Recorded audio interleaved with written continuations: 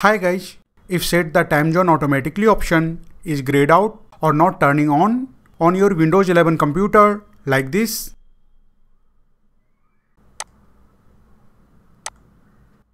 Then let's see how to fix it. First of all right click on the start button and then go to settings and then go to privacy and security and on the privacy and security I'll scroll down.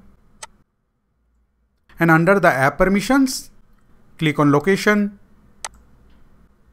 And now here make sure location services is turned on.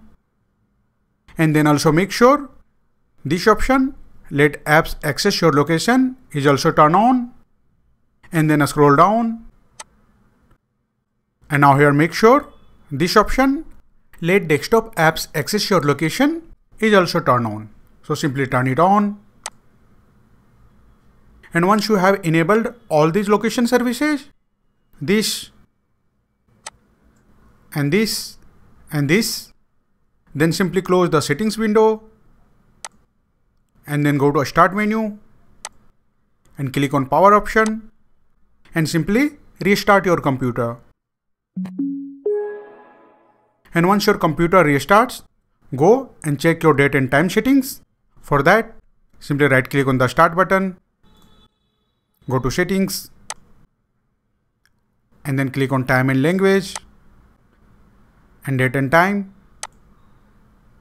And now try to turn on, set the time zone automatically option, simply turn it on.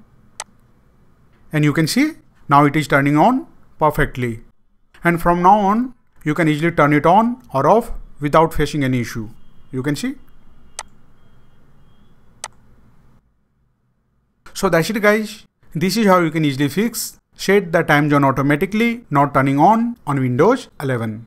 If you like this video, please subscribe the channel.